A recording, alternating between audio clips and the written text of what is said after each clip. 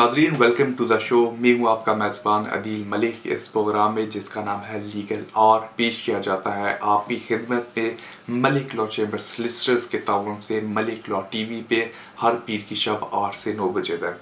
नाजरीन, इस प्रोग्राम के दो सेगमेंट होते हैं। प्रोग्राम के पहले हिस्से में मैं देता हूँ आपको इमिग्रेशन लॉ के मतलब अपडेट्स और प्रोग्राम के दूसरे सेगमेंट में मिस्टर अली देते हैं आपको आपको सवाल के जवाब अगर आपके पास भी कोई सवाल है इमिग्रेशन के मतलब तो आप भी हमें लिख सकते हैं। हमारा ईमेल एड्रेस है info at Malik law dot T V नाजरीन, इसी के साथ प्रोग्राम के पहले सेगमेंट का करते हैं आगाज़ और बढ़ते हैं इमिग्रेशन लॉ अपडेट्स की तरफ़। नाजरीन, जिस तरह मैंने आपको पहले भी बताता रहता हूँ कि इमिग्रेशन लॉ का जो एरिया है, वो बहुत तेज़ी से बदल रहा है।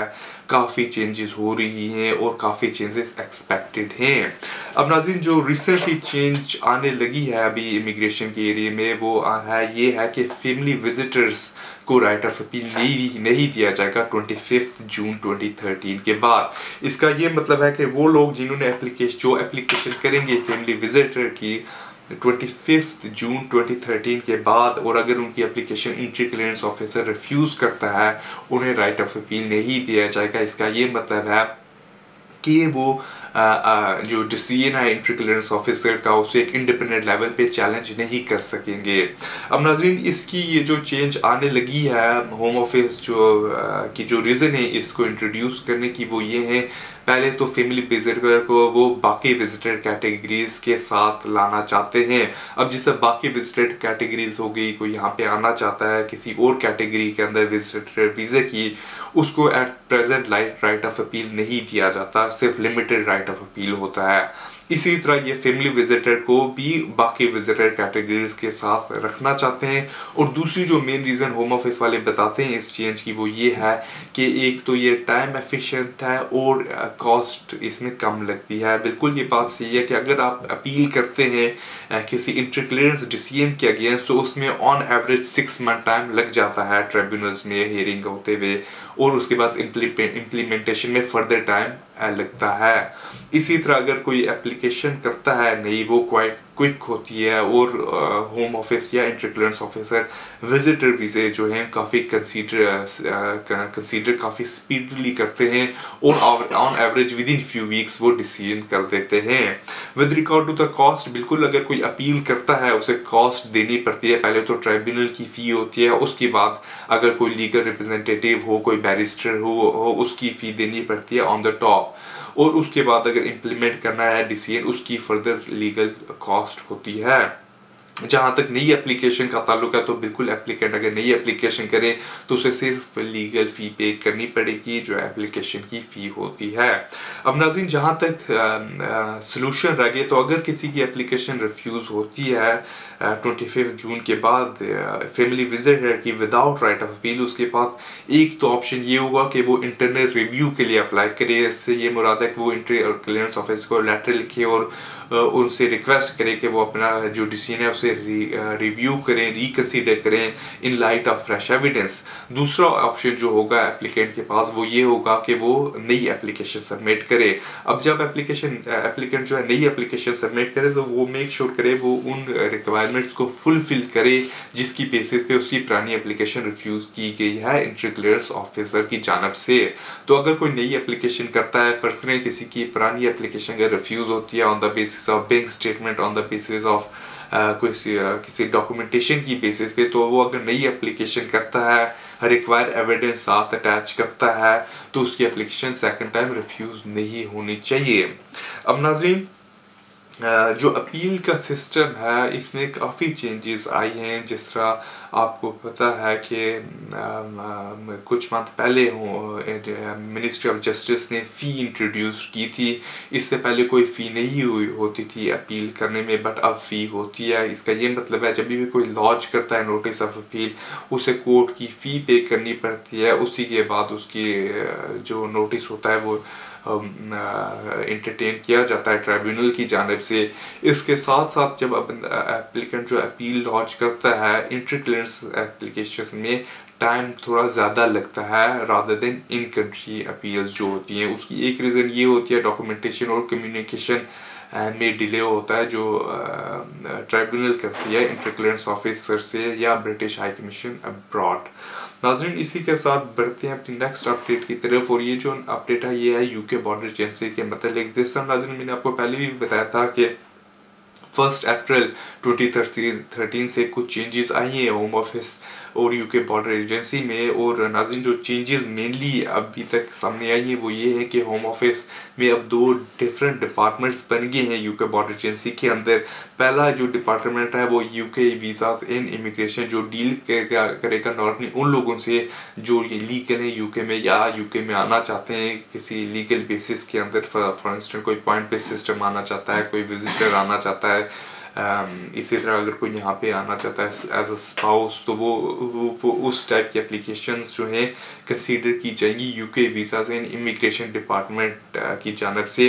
और जो दूसरा डिपार्टमेंट यूके बॉर्डर एजेंसी के अंदर बनाया है वो है इमिग्रेशन इन्फोर्समेंट अब इमिग्रेशन इन्फोर्समेंट नॉर्मली उन लोगों से डील करेगा जो यहाँ पे ओवर स्टे हैं या जिनका कोई ह्यूमन राइट का क्लेम है या जिन जो यहाँ पे रह रहे हैं उनकी एप्लीकेशन होम ऑफ़िस ने रिफ्यूज़ कर दिया है। फ़ील्ड असाइलम सीकर्स जो हैं उन टाइप के एप्लीकेंट्स के लोगों से इमिग्रेशन इन्फोर्समेंट डिपार्टमेंट जो है वो डील करेगा। अब नाजिर गुजशत चंद वीक्स और चंद मंथ से स्पेशली आफ्टर फ़र्स्ट अप्रैल 2013 से बिल्कुल ये नोट किया जा सकता है कि होम ऑफ़िस नई जो एप्लीकेशंस हैं, उन्हें स्पीडली कंसीडर कर रहे हैं और जल्दी डिसीज़न कर रहे हैं। पर समहाउ काफ़ी ऐसे भी केसेस हैं जिन पे होम ऑफ़िस वाले अनयूजल टाइम ले रहे हैं।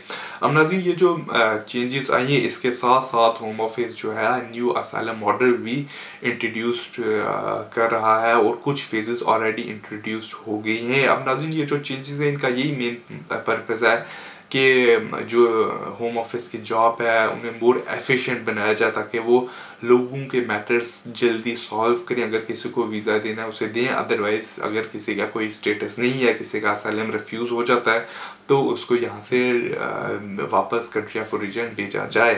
अब नाजिन जहाँ तक असाइलम ऑपरेटिंग मॉडल का ताल्लुक है तो एक फ़ेज़ तो ऑलरेडी इंट्रोड्यूस हो गया है और बाकी फ़ेज़ जो हैं, वो आस्ता आस्ता इंट्रोड्यूस की जाएँगी होम ऑफ़िस की जानब से थ्रू आउट टू और फोर्टीन नाजरीन इसी के साथ एक और जो मेजर चेंज आई है फ़र्स्ट अप्रैल से वो ये आई है कि legal aid and legal aid sentencing and punishment of offenders act 2012 की जो लीगल एड की प्रोविज़न थी वो इन्फोर्स हो गई हैं। अब नाजिन जो uh, ये बिल uh, ये जो एक्ट है इसके तहत uh, जो लीगल एड है वो काफ़ी लिमिटेड कर दी गई है और स्पेशली इमिग्रेशन केसेस में लीगल एड जो है वो अब बहुत मुश्किल है लेना। अब जहाँ तक लीगल एड का ताल्लुक है बच्चों के केसेस है, उसको एक्सक्लूड कर दिया गया बट हाँ ये पॉसिबल है किसी असालम सीकर से वो लीगल एड क्लेम करे बट अगेन बहुत लिमिटेड कर दिया है और बहुत डिफ़िकल्ट कर दी है। नाजरीन, इसी के साथ टाइम होता है, एक छोटी सी कमर्शियल ब्रेक का मिलते हैं ब्रेक के उस पर, मज़ीद अपडेट्स के साथ, कहीं मत चाहिएगा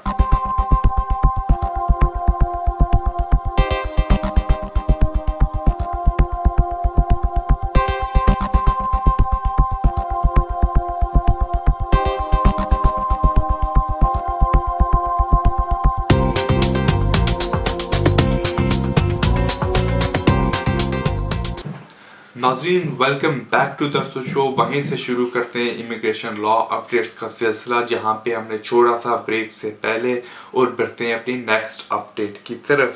नाजरीन, जैसा ब्रेक से पहले हम डिस्कस कर रहे थे, जो रिसेंट चेंजेस आई हैं होम ऑफ़िस के इंटरनल प्रोसीजर में, इसी तरह जो नया असालम मॉडल इंट्रोड्यूस किया गया है होम ऑफ़िस की जानब से, और जो लीगल एड पे फ़र्क पड़ा है legal aid sentencing in punishment of offenders act की जानब से। अब नाजरीन, इसी तरह देखें, जो एक और नई चेंजेस होम ऑफ़िस ने इंट्रोड्यूस की है गुजशत माह में, वो ये है, उन्होंने प्राइवेट कॉन्ट्रैक्ट किया है कैपिटा कंपनी से। अब कैपिटा कंपनी से जो होम ऑफ़िस का कॉन्ट्रैक्ट है, वो पहला तो कॉन्ट्रैक्ट ये है कि वो कॉन्ट्रैक्ट करेगी कैपिटा होम ऑफ़िस की बिहाफ पे उन लोगों से जो यहाँ पे इलीगली रह रहे जिनका कोई स्टेटस नहीं है इमिग्रेशन के हवाले से। अब जब होम कैपिटा नॉर्मली कॉन्टैक्ट करी है, उन लोगों को, उनको वो लेटर लिखती है कि आपको आपको कांटेक्ट करना चाहिए कैपिटा को एज सुन एज पॉसिबल या फिर आप कंट्री छोड़ के चले जाएँ। इसी के साथ साथ जो होम ऑफ़िस का एक और कॉन्ट्रैक्ट है कैपिटा के साथ, वो ये है कि कैपिटा जो है, वो रिमाइंडर सर्विस जो है, वो प्रोवाइड करेगी उन लोगों को जिनका वीज़ा एक्सपायर होने लगा है। इसका ये मतलब है, अगर वो एप्लीकेंट है यहाँ पे और उसका वीज़ा एक्सपायर अनकरीब होने लगा है तो कैपिटा उन्हें लेटर लिखेगी कि उनका वीज़ा जो है एक्सपायर होने लगा है, उन्हें कंट्री छोड़ के चली जाना चाहिए या फिर कॉन्टैक्ट करना चाहिए होम ऑफ़िस को। अगर वो कोई और एप्लीकेशन करते हैं या कोई वेरिएशन करते हैं अपने इमिग्रेशन स्टेटस के अंदर नाजिन इसी के साथ बढ़ते हैं अपनी नेक्स्ट अपडेट की तरफ़, और ये जो अपडेट है, ये स्टूडेंट्स के हवाले से है। अब नाजिन जिस तरह आपको पता है कि स्टूडेंट्स की जो कैटेगरी है, उसमें चेंजेस कुछ आई है, और रिसेंटली जो पॉजिटिव चेंज आई है, वो ये आई है कि होम सेक्रेटरी ने अनाउंस किया है कि वो स्टूडेंट कैटेगरी पे कैप नहीं रखेगी। इसका ये मतलब है कि स्टूडेंट्स को जो है वो रिस्ट्रिक्ट नहीं किया जाएगा। जैसा बाकी पॉइंट पे सिस्टम एप्लीकेट्स में अगर हम देखें कि एक लिमिट होती है कैप नंबर होता है, उससे ज़्यादा होम ऑफ़िस वाले वीज़ा इशू नहीं करते। बट स्टूडेंट्स जो है उसे कैप नहीं किया जाएगा। और जो लोग अप्लाई कर सकते हैं, उसका कोई नंबर की रिस्ट्रिक्शन नहीं है कितने लोग अप्लाई करें। अब नाजिन जो स्टूडेंट्स का हवाला है, उसमें आपको पता है कि गुज्त साल जो मेजर चेंज आई थी, वो ये आई थी कि एक तो एप्लीकेंट जो है, वो प्रोग्रेस करता रहे थ्रू आउट स्टडीज़ अगर वो यहाँ पे रहना चाहता है और मैक्सिमम जो एप्लीकेंट यहाँ पे है, पाँच साल तक रह सकता है, कुछ सर्कमस्टांस में आठ साल तक ऑन स्टूडेंट वीज़ा अब नाजिन ये जो चेंज आई है, ये स्टिल एप्लीकेबल है। इसके साथ साथ जो होम ऑफ़िस ने स्टूडेंट्स को रिस्ट्रिक्ट किया है, वो ये किया है कि स्टूडेंट जो है, वो अप्लाई नहीं कर सकता स्विच नहीं कर सकता टीयर वन इंटरप्रेन्योर वीज़े के अंदर inside the United Kingdom अब नज़र, ये जो चेंजेस होम ऑफ़िस ने गुजशत ईयर और गुजशत कुछ मंथ में इंट्रोड्यूस किया है, इससे वाजह शो ये शो होता है कि होम ऑफ़िस स्टूडेंट्स को है, वो रिस्ट्रिक्ट करना चाहते हैं। एक सर्टन नंबर तक था और सिर्फ़ उन स्टूडेंट्स को वीज़ा देना चाहते हैं जिनका पर्पज़ यहाँ पे आना, आने का है और जेनुअली पढ़ने का है और उसके बाद वापस कंट्री ऑफ़ ओरिजिन चले जाने का है। But on the other hand नाजिन जिस तरह लास्ट ईयर होम ऑफ़िस ने ग्रेजुएट एंटरप्रेनर वीज़ा इंट्रोड्यूस किया था कैटेगरी एक नई और उस कैटेगरी के तहत वो लोग अप्लाई कर सकते थे जो यहाँ से ग्रेजुएट होते हैं और जो यहाँ पे बिज़नेस स्टार्ट करना चाहते हैं। उनके पास कोई आइडिया है जिससे इकॉनमी को फ़ायदा हो और वो खुद भी यहाँ पे एक सक्सेसफुल बिज़नेस रन करें या बिज़नेस रन करें। अब नजरिन, एक और जो स्टूडेंट्स के हवाले से मैं आपको बात बताना चाहता हूँ कि होम ऑफ़िस ने जब पॉइंट भी सिस्टम इंट्रोड्यूस किया था तो पॉलिसिंग करने की जो ज़िम्मेदारी थी, वो कॉलेजेस पे रखती थी इंस्टीट्यूशंस पे रखती थी। इसका ये मतलब है कॉलेजेस जो है, वो चेक करेंगे वैदर स्टूडेंट्स को जो है वो सीरियसली पढ़ रहा है कि नहीं वैदर स्टूडेंट्स जो है, उनकी अटेंडेंस रेगुलर है कि नहीं वैदर स्टूडेंट यूनिवर्सिटी लेवल की इंग्लिश बोल सकता है कि नहीं। तो ये सारी जो ज़िम्मेदारी थी होम ऑफ़िस ने शिफ्ट कर दी थी कॉलेजेस और यूनिवर्सिटीज़ के एजुकेशन इंस्टीट्यूशंस के ऊपर। अब नाजिन जो पहली, इसके साथ साथ होम ऑफ़िस वाले जो हैं, वो लाइसेंस इशू करते हैं कॉलेजेस को और सिर्फ़ उन्हीं कॉलेजेस इंस्टीट्यूशंस के लिए पॉसिबल होता है वे किसी, वो किसी स्टूडेंट्स को पढ़ाएँ, जिनके पास होम ऑफ़िस का लाइसेंस होता है। अब नाजिन, जहाँ तक लाइसेंस की बात है तो बिल्कुल होम ऑफ़िस ने लाइसेंस काफ़ी रिवोक भी किए हैं और जो मेन लाइसेंस होम ऑफ़िस ने पहली यूनिवर्सिटी का रिवोक किया था वो लास्ट ईयर क्या था लंदन मेट्रोपॉलिटन यूनिवर्सिटी का। अब जहाँ तक नाजर लंदन मेट्रोपॉलिटन यूनिवर्सिटी का ताल्लुक है तो बिल्कुल लाइसेंस रिवोक किया गया था होम ऑफ़िस की जानब से बट लंदन मेट्रोपॉलिटन यूनिवर्सिटी को लाइसेंस दोबारा मिल गया है और लंदन मेट्रोपॉलिटन यूनिवर्सिटी के लिए अब पॉसिबल है कि वो उन्हें स्टूडेंट्स को पढ़ाए और जो स्टूडेंट्स उनके साथ पढ़ रहे हैं जिनकी जो पढ़ हैं वो कंटिन्यू रख सकते हैं अपनी स्टडीज़ लंडन मेट्रोपॉलिटन यूनिवर्सिटी के साथ। अब नाजरीन, इसी के साथ बढ़ते हैं अपनी नेक्स्ट अपडेट की तरफ़, और ये जो अपडेट है, यह जुडिशियल रिव्यू के हवाले से। अब नाजरीन कुछ प्रपोजल आए हैं और उन प्रपोजल्स के तहत जुडिशियल रिव्यू जो है इमिग्रेशन के केसेस में कम करने की प्रपोज किया गया है। अब नाजिन गुजशत कुछ सालों में जुडिशियल रिव्यू बहुत ज़्यादा हो गए और स्पेशली इमिग्रेशन केसेस के जुडिशियल रिव्यू हैं, वो सबसे ज़्यादा हाई कोर्ट में सुने जाते हैं और काफ़ी जुडिशियल रिव्यू ऐसे होते हैं जो बेसलेस किए जाते हैं, जिनका कोई ग्राउंड नहीं होता और होम ऑफ़िस के तहत सिर्फ़ एप्लीकेंट उस टाइप के जुडिशियल रिव्यू करते ताकि वो टाइम ले होम ऑफ़िस से। अब नाजिन जो प्रपोजल आए हैं, वो तो एक प्रपोजल ये है कि कुछ फ़ी रखी जाए। रीन्यूअल हेयरिंग्स पे और इसी के साथ जो दूसरा प्रपोजल है वो ये है कि अगर किसी की एप्लीकेशन जो है परमिशन की वो रिफ्यूज़ की जाती है हाई कोर्ट की हाई कोर्ट की जज की जानब से विदाउट टोटल मेरिट्स तो वो अप्लाई नहीं कर सकता रिन्यूअल की। अब नाजिन ये जो दो मेन चेंजेस हैं, ये प्रपोज की गई हैं, अभी कोई इम्प्लीमेंट नहीं हुई है बट स्टिल एक्सपेक्टेड हैं विद इन फ्यू मंथ्स के अंदर इन्फोर्स हो जाए। अब नाजिन मैं आपको बताता चलूँ जुडिशियल रिव्यू जो है वो टू स्टेज प्रोसेस होता है। पहले एप्लीकेंट को परमिशन की एप्लीकेशन करनी पड़ती है, उसके बाद एप्लीकेंट की अगर परमिशन एप्लीकेशन अलाउ हो जाए, फिर उसकी हियरिंग होती है, जहाँ पे जज सुनता है उसका केस वो डिसाइड करता है वेदर के जो पब्लिक अथॉरिटी है, उसने कोई डिसीज़न किया है, जो अनलॉफुल है कि नहीं। इसी के साथ प्रोग्राम की इस सेगमेंट का टाइम होता है ख़त्म। ब्रेक के उस पार मिस्टर अली मिलेंगे आपको आपके सवाल के साथ। कहीं मत जाइएगा। Thank you very much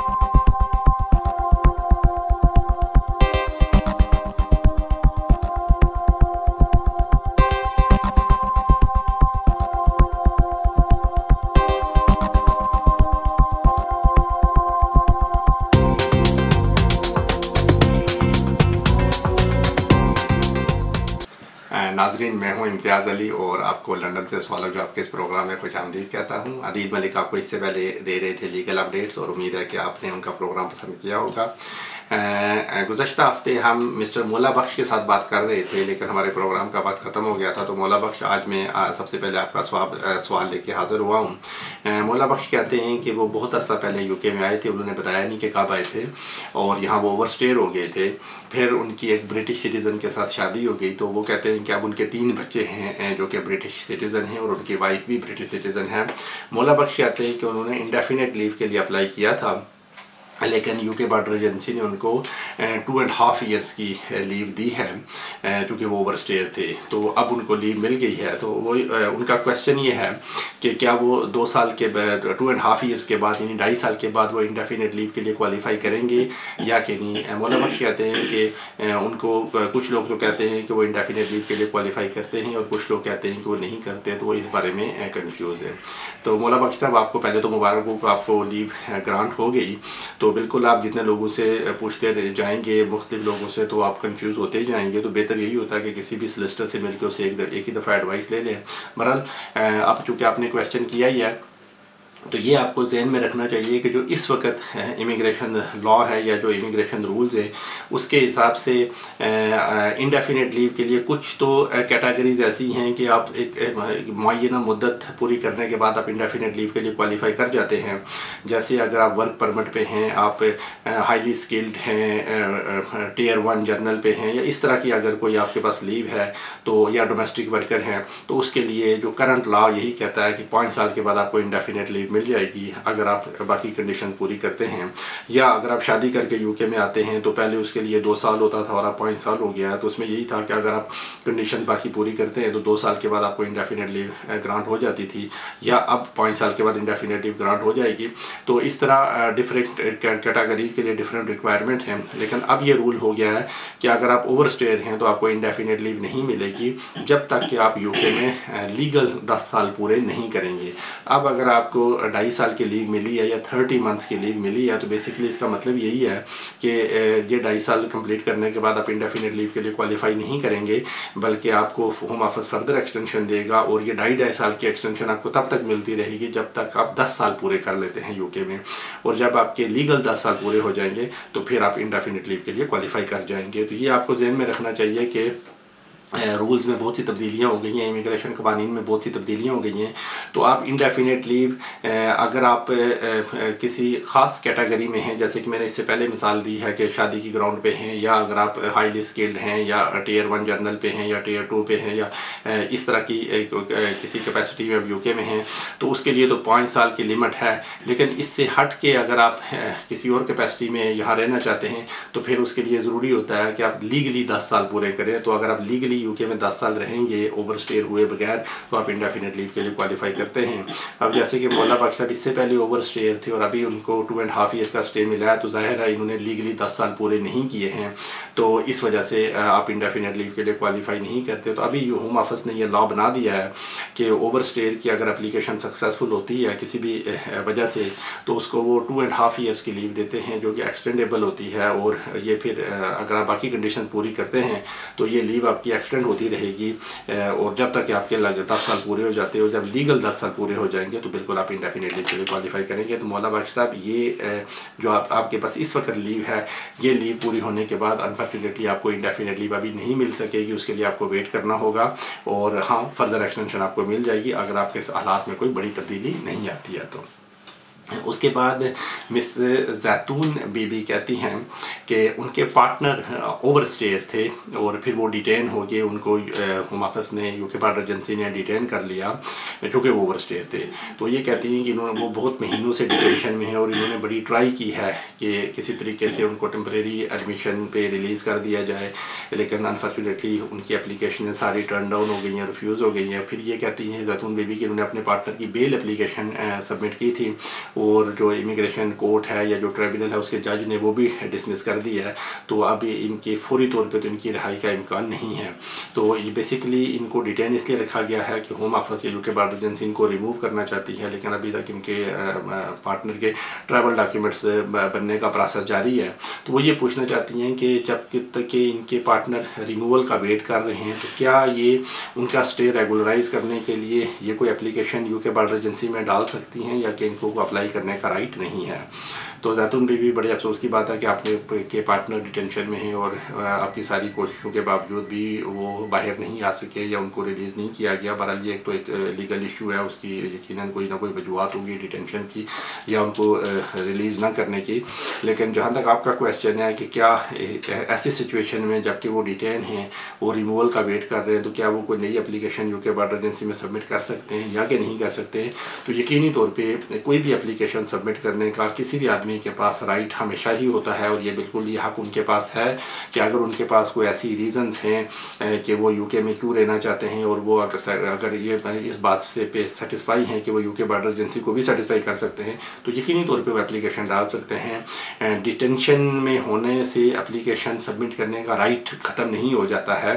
हाँ उनकी एप्लीकेशन मेरिट पे कंसीडर होगी, ये कहना तो बहुत ही डिफ़िकल्ट है कि उसका डिसीज़न क्या होगा, लेकिन बिल्कुल जबकि वो डिटेंशन में हैं और रिमूवल का भी वेट कर रहे हैं स्टिल नई एप्लीकेशन सबमिट कर सकते हैं और यूके बॉर्डर एजेंसी या होम ऑफ़िस बिल्कुल उनकी एप्लीकेशन को, उनकी जो भी वो अपनी एविडेंस सबमिट करेंगे उन सबको पूरी तरह कंसिडर करके फिर वो उसका डिसीज़न करेंगे। तो बिल्कुल आपके पार्टनर एप्लीकेशन सबमिट कर सकते हैं। एप्लीकेशन सबमिट करने में किसी तरह की कोई पाबंदी नहीं है। उसके बाद मिस्टर फयाज कहते हैं कि वो यूके में बहुत अरसा पहले आए थे। अरसा उन्होंने बताया नहीं कि कब आए थे और फिर उन्होंने एक एप्लीकेशन डाल दी थी अपना स्टे रेगुलराइज करने के लिए। वो कहते हैं कि बहुत अरसा उनकी एप्लीकेशन पेंडिंग रही और इस अरसे के दौरान होम ऑफ़िस के ऑफिशल्स ने उनको, उनकी काम की जगह से डिटेन कर लिया था। वो कहते हैं कि वो रूटीन की चेक के लिए यूके बॉर्डर एजेंसी की टीम वहाँ आई और ये काम कर रहे थे चूँकि इनको काम अलाउ नहीं था तो इनको उन लोगों ने डिटेन कर लिया और बहुत महीने ये डिटेंशन में रहे हैं। फयाज कहते हैं कि उनकी चूँकि एप्लीकेशन पेंडिंग थी और उसका डिसीज़न नहीं हुआ था और उस ग्राउंड पे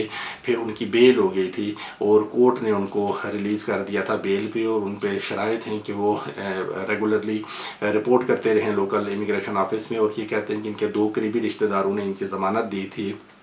तो अब फयाज कहते हैं कि अब इनकी एप्लीकेशन रिफ्यूज़ हो गई है, यानी जब इनकी बेल एक्सेप्ट हुई थी तो बेल इसी वजह से हुई थी कि उस वक्त इनकी एप्लीकेशन पेंडिंग थी, लेकिन अब इनकी एप्लीकेशन रिफ्यूज़ हो गई है और इनके पास अपील का राइट नहीं है और इनके पास आगे जाने का भी कोई चांस नहीं है।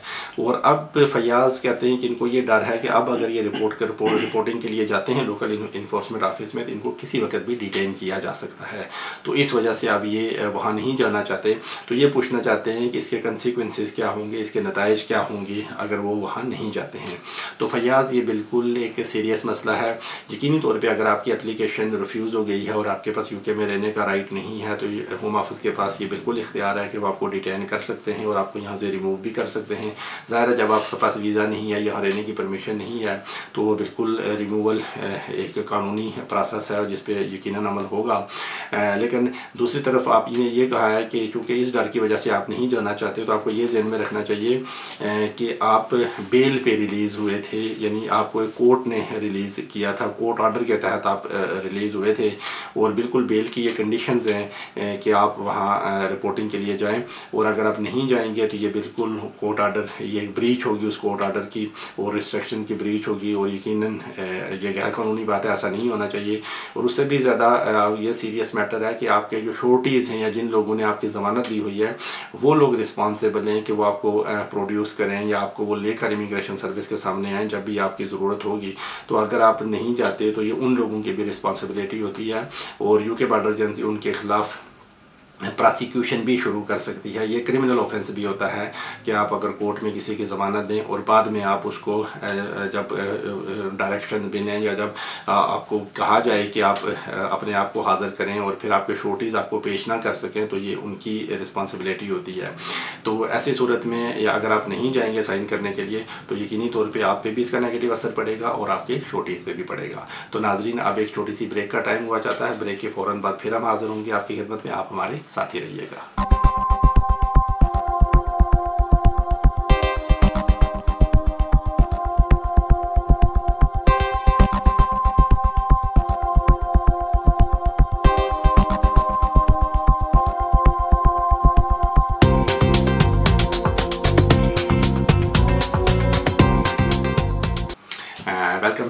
नाजरीन ब्रेक पे जाने से पहले हम फैयाज़ के साथ बात कर रहे थे और हम उनको यही कहेंगे कि आप यकीनन रिपोर्टिंग के लिए जाएँ और अपने आप को भी और अपने छोटीज़ को भी किसी तरह की आजमाइश में मत डालें। फयाज़ के बाद हम बात करते हैं मिस मल्होत्रा के साथ। मिस मल्होत्रा स्टूडेंट के तौर पे यूके में आई थी, वो ये कहती हैं कि वो पढ़ रही थी और उन्होंने बिल्कुल बड़ी मेहनत की है, लेकिन अनफॉर्चुनेटली उनकी एक्सटेंशन की अप्लीकेशन रिफ्यूज़ हो गई थी और फिर उन्होंने अपील की कोर्ट में गई, उनकी अपील भी डिसमिस हो गई। फिर कहती है कि उसके बाद उन्होंने अपर ट्राइबनल में भी अपील की और वहाँ से भी उनकी अपील डिसमिस हो गई। तो इस वक्त वो बिल्कुल ओवर स्टेड हैं और कहीं भी उनका केस पेंडिंग नहीं है। मिस मल्होत्रा कहती हैं कि उनके कॉलेज ने उनको एडवाइस किया है कि अगर वो नए कोर्स में इनरोल हो जाएँ और उनको, अगर नया वो कॉलेज उनको कैश इशू कर देगा तो फिर इस ग्राउंड पे वो नई एप्लीकेशन डाल सकती हैं और उनको फिर फर्दर लीव मिल जाएगी। तो इस बारे में वो पूछना चाहती हैं कि उनकी एप्लीकेशन की कामयाबी के कितने चांसेस हैं। तो मिस मल्होत्रा बड़े अफसोस की बात है कि आपकी एप्लीकेशन भी रिफ्यूज़ हुई, फिर आपकी अपील भी डिसमिस हो गई, लेकिन क्योंकि आपने रीज़न नहीं बताया कि वो क्यों रिफ्यूज़ हुई तो उस बात पर तो उस पर बात करना मेरे लिए थोड़ा सा डिफ़िकल्ट है। लेकिन जहाँ तक आपका ये क्वेश्चन है कि आप इस वक्त ओवर स्टेयर हो गई हैं, आपके पास वैलिड वीज़ा नहीं है और आप दोबारा एक्सटेंशन या लीव टू रिमेन के लिए अप्लाई करना चाहती हैं या आप दोबारा एज ए स्टूडेंट यूके में रहना चाहती हैं तो अनफॉर्चुनेटली ऐसा करना अब मुमकिन नहीं होगा। उसकी वजह यह है कि लास्ट अक्टूबर से ये लॉ बिल्कुल चेंज हो गया था। स्टूडेंट के लिए ये कोई भी जो पॉइंट बेस्ड एप्लीकेंट्स होते हैं या पॉइंट बेस्ड सिस्टम के तहत जो एप्लीकेशन दी जाती हैं, उनके लिए ये ज़रूरी होता है कि टाइम ऑफ़ एप्लीकेशन आपके पास वैलिड वीज़ा होना चाहिए। अगर टाइम ऑफ़ एप्लीकेशन आपके पास वैलिड वीज़ा नहीं है तो फिर आपकी एप्लीकेशन रिफ्यूज़ हो जाएगी उसमें कामयाबी का कोई चांस नहीं है। और चूँकि स्टूडेंट्स की एप्लीकेशन भी पॉइंट बेस्ड सिस्टम के तहत आती है तो ऐसी सूरत में अगर आप वीज़ा ख़त्म होने के बाद एप्लीकेशन डालेंगे तो उसमें रिफ्यूज़ल मैंने मैंडेटरी और आपकी आपकी एप्लीकेशन रिफ्यूज़ हो जाएगी। तो इस वजह से इसमें कामयाबी का चांस बहुत कम नज़र आता है। तो मैं आपको यही मशवरा दूँगा कि अगर आप पढ़ना चाहती हैं तो एक तो आप किसी भी अच्छे से सलिस्टर से मिलकर इस बारे में फर्दर एडवाइस दे लें लेकिन ज़्यादा बेहतर आपके लिए यही होता है कि आप वापस जाएँ और फिर एंट्री क्लियर्स लेके आप दोबारा आ जाएँ। लेकिन अगर आपको कॉलेज ने ये बताया है कि आप यहाँ से ही एप्लीकेशन डालें तो आपको लीव ग्रांट हो जाएगी। कॉलेज तो आपको कैश इशू कर सकता है वो उनकी अपनी डिस्क्रिप्शन है। लेकिन यूके बॉर्डर एजेंसी का रूल यही है कि अगर आप एज ए स्टूडेंट अप्लाई करते हैं तो टाइम ऑफ़ एप्लीकेशन आपके पास वैलिड वीज़ा होना चाहिए। अगर वैलिड वीज़ा नहीं है तो फिर आपकी एप्लीकेशन में कामयाबी का चांस नहीं है। मिस मल्होत्रा के बाद हम बात करते हैं मिस्टर गुरुंग के साथ। मिस्टर गुरुंग का तल्लक नेपाल से है। उनकी वाइफ यहाँ वर्क परमिट पे आई थी और मिस्टर गुरुंग उनके डिपेंडेंट हैं। तो ये कहती हैं कि वर्क परमिट पे तो उनकी वाइफ आई थी, लेकिन उन्होंने कभी भी अपने एम्प्लॉयर के साथ काम नहीं किया है और वो भी यानी कभी अपने एम्प्लॉयर के पास जो रिक्वायरमेंट थी उसके हिसाब से उन्होंने वहाँ कभी भी वो जॉब नहीं की। तो ये कहते हैं कि अब ये भी एक काम कर रहे थे, लेकिन अब इनको पता चला है कि इनकी लीव हो चुकी हुई है इनका वीज़ा कैंसिल हो चुका हुआ है और इस वक्त ये ओवर स्टे है और पता इनको ऐसे चला है कि इनके काम पे इमिग्रेशन सर्विस आई थी, उन लोगों ने इनको डिटेन कर लिया, फिर इनको टेम्प्रेरी एडमिशन पर रिलीज़ कर दिया और वहाँ इनको बताया गया है कि इनका वीज़ा तो बहुत पहले कैंसिल हो चुका हुआ है। तो अब मिस्टर गुरुंग पूछना चाहते हैं कि ऐसी सूरत में उनको क्या करना चाहिए? तो मिस्टर गुरुंग, अगर आपकी वाइफ यूके में आई थी वर्क परमिट के तौर पर वर्क परमिट होल्डर के तौर पर तो यकीनी तौर पर कानून का तकाजा है कि वो अपने एथराइज एम्प्लॉयर के साथ काम करें, यानी जिस एम्प्लॉयर के साथ काम करने के लिए उनको वर्क परमिट ग्रांट हुआ था, उनकी ज़िम्मेदारी थी वो उस के पास काम करें। अगर वो उस के पास काम नहीं करती तो ये यकीन कानून की खिलाफ वर्जी है, ये ब्रीच है रूल्स की, और ऐसी सूरत में बिल्कुल लीव कैंसिल हो जाती है लीव रिवोक हो जाती है, जैसा कि आपके साथ हुआ है। और अगर आपके, आप चूँकि डिपेंडेंट के तौर पर आए थे तो आपकी लीव तो टोटल डिपेंड करती है आपकी वाइफ के लीव पे। अगर उनके पास वीज़ा होगा तो आपके पास भी होगा। अगर उनका वीज़ा कैंसिल होगा तो आपका वीज़ा भी ऑटोमेटिकली कैंसिल होगा। तो ऐसी सूरत में आपकी लीव रिवोक हो गई हुई है। तो ऐसी सूरत में अब मेरे लिए कहना बहुत ही डिफ़िकल्ट है कि आपको क्या करना चाहिए। तो अगर तो आपके पास कोई माकूल रीज़न है कि आप यूके में क्यों रहना चाहते हैं तो बिल्कुल आप नई एप्लीकेशन डाल सकते हैं, लेकिन आपको यूके बार्डर एजेंसी को बताना होगा कि आप यहाँ क्यों रहना चाहते हैं। लेकिन बेहतर यही होगा कि आप अपने लोकल एरिया में किसी अच्छे से सलिस्टर से मिल इस बारे में फर्दर एडवाइस ले लें लेनी अगर आप ओवर स्टे हो गए हैं तो ये यकीनी तौर पर एक कम्प्लिकेटेड इशू है। तो मेरे लिए सजेस्ट करना बहुत मुश्किल है कि आपको क्या करना चाहिए। लेकिन फौरी तौर पर आपको अपना स्टे रेगुलराइज करने के बारे में सोचना चाहिए, क्योंकि ओवर स्टेयर होकर रहना यकीनी तौर पर कानून की खिलाफ वर्जी है और उसके कॉन्सिक्वेंसिस यकीनी तौर पर संगीन और संजीदा हो सकते हैं। मिस्टर गुरुंग के बाद हम बात करते हैं मिस्टर राय। मिस्टर राय का तलक भी नेपाल से है। राय ये कहते हैं कि वो एज ए स्टूडेंट यहाँ आए थे और यहाँ उन्होंने बड़ी मेहनत की और उन्होंने यहाँ से मास्टर्स डिग्री भी ले ली थी। राय कहते हैं कि डिग्री लेने के बाद उनका वीज़ा भी कैंसिल नहीं हुआ था, लेकिन वो यहाँ शदीद बीमार हो गए। फिर उनके बहुत से यहाँ ऑपरेशन हुए, जिसकी वजह से वो फर्दर स्टडीज़ भी कंप्लीट वो फर्दर और मज़ीद स्टडी नहीं कर सके और ना ही वो अपना वीज़ा एक्सटेंड करा सके। और राय कहते हैं वो तीन साल से ओवर स्टे रहे और उनकी मेडिकल ट्रीटमेंट चल रही है। अभी कुछ दिन पहले उनको यूके बार्डर एजेंसी वालों ने पकड़ लिया था और वो कहते हैं कि फिर उन्होंने उनको टेम्प्रेरी एडमिशन पे तो छोड़ दिया है, लेकिन उनको दोबारा बुलाया गया है और इनको पता है कि अब इनकी रिमूवल की कार्रवाई शुरू होने वाली है। तो राय ये पूछना चाहते हैं कि चूँकि उनकी मेडिकल ट्रीटमेंट अभी तक चल रही है, उनके ऑपरेशन अभी तक बाकी हैं तो क्या वो मेडिकल ग्राउंड की के वजह से यूके में रह सकते हैं? और इस ग्राउंड पर अगर वो एप्लीकेशन डालें तो उसमें कामयाबी का कितना चांस होगा? तो मिस्टर राय, हमारी दुआ है कि आपको जल्द अज जल्द सेहत मिले। लेकिन जहाँ तक आपका मामला है कि मेडिकल ग्राउंड पर एप्लीकेशन डाल सकते हैं या नहीं तो यकीनी तौर पे अगर तो कोई माकूल रीज़न है, क्योंकि आप ओवर स्टेयर हो गए हैं तो ऐसी सूरत में आप बिल्कुल आप अप्लाई तो कर सकते हैं, लेकिन आपको बिल्कुल मेडिकल रिपोर्ट लगानी होगी। यूके बार्डर एजेंसी को सेटिस्फाई करना होगा कि आपकी मेडिकल कंडीशन किस, कितनी सीरियस है और आपकी ट्रीटमेंट कितनी ज़रूरी है। क्या ये ट्रीटमेंट आपके अपने कंट्री में हो सकती है या नहीं हो सकती, ये सारे पॉइंट यहाँ कंसिडर किए जाएँगे। तो यकीनी तौर पर आप एप्लीकेशन डाल सकते हैं। ये कहना तो बहुत ही डिफ़िकल्ट होता है कि एप्लीकेशन की कामयाबी का कितना चांस है, वो चूँकि आपके सारी डॉक्यूमेंटेशन आपकी सारी एविडेंस और जिस तरह के आप कागजात सबमिट करेंगे, उन सबको देख के तो यूके बार्डर एजेंसी या होम ऑफ़िस उसका डिसीज़न करेगा। अभी कहना तो बहुत डिफ़िकल्ट है, लेकिन आप ज़्यादा से ज़्यादा एविडेंस लगा के बिल्कुल आप एप्लीकेशन सबमिट कर सकते हैं और ये अप्लाई करना बिल्कुल आपका राइट है और उसको बिल्कुल पूरे तरीके से प्रोसेस की जाएगी एप्लीकेशन उसके बाद उस पर डिसीज़न होगा। तो चूँकि आप ओवर स्टेयर हैं और बिल्कुल आप जैसे कहते हैं कि रिमूवल को भी फेस कर रहे हैं। आपको किसी वक्त भी डिटेन किया जा सकता है तो आपको ऐसी एप्लीकेशन अगर आप यहाँ रहना चाहते हैं मेडिकल ग्राउंड पर तो फिर आपको एज सुन एज पॉसिबल अपनी एप्लीकेशन होम ऑफ़िस में सबमिट कर देनी चाहिए। ज़्यादा अर्सा तक ओवर स्टे रहना यकीनी तौर पर मुनासब नहीं है। उसके बाद मुख्तार ख़ान कहते हैं कि वो पाकिस्तान से उनका तल्लक है और वो स्टूडेंट के तौर पे यूके में आना चाहते हैं। मुख्तार ये कहते हैं कि उन्होंने वहाँ से एप्लीकेशन सबमिट की थी, लेकिन उनकी एप्लीकेशन रिफ्यूज़ हो गई है और उसके पास, उनके पास अपील का राइट नहीं है। तो उन्होंने फिर दोबारा रिव्यू करने की एप्लीकेशन दी थी और वो रिव्यू भी करके उन्होंने रिफ्यूज़ कर दिया है।